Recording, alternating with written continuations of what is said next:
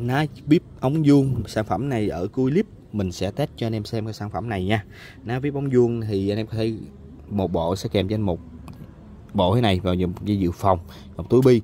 Mình nhắc lại nha nó ná bên mình là cái bếp ống này là cái ống ống vuông này là cái ống inox thép 304 hàng không gỉ ha không gỉ không gỉ xét đó anh em.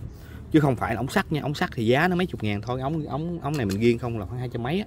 Bán lẻ tại mình nhập không là là, là, là nó, nó rất là cao rồi ha đó nè ống vô, đi cực kỳ mướt luôn, ha đó, này, ống này nè nè, xả xuống vậy, xong rồi cứ cài bi vô, xong rồi đạp lên đạp lên, dính chốt, rồi bắn, xong rồi xả xuống, xong rồi xả tiếp thôi ừ.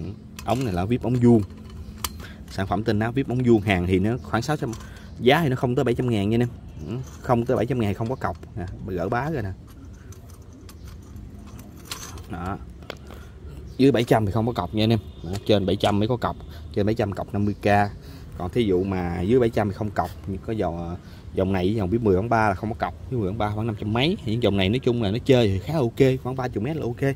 Còn nó so sánh với những cái mẫu triệu mấy hay hai triệu mấy, ba triệu mấy thì nó không so sánh được anh em.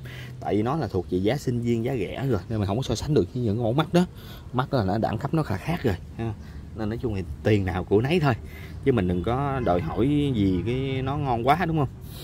Tiền nào của nấy sẽ kèm cho anh em một kính ngắm bút nem 140 ha hàng nó sẽ nè anh em dòm những cái chốt của nó nè. Nó sẽ đóng sẵn cho mình hết nha chốt rồi đàng hoàng nè ha.